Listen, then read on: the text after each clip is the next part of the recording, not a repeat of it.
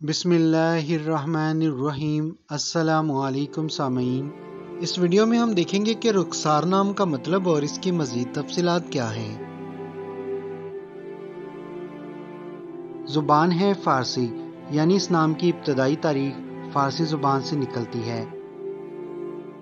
Jeans है लड़की, यानी इस नाम का ज़्यादातर इस्तेमाल लड़कियों के लिए किया जाता है। मज़हब है इस्लाम यानी इस नाम का इस्तेमाल ज़्यादातर मुसलमानों में किया जाता है। ये नाम उर्दू में पाँच जबकि इंग्लिश में सात हरूफ पर मुश्तमिल है।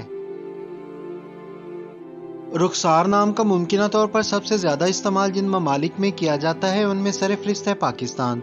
नंबर दो पर है इंडिया और नंबर तीन पर है बांग्लादेश।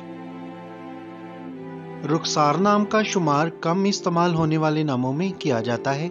इसके मुख्तसर इंग्लिश मीनिंग है ब्यूटीफुल चिक्स फारसी ज़ुबान में रुख चेहरे को, जबकि रुखसार गालों को कहते हैं।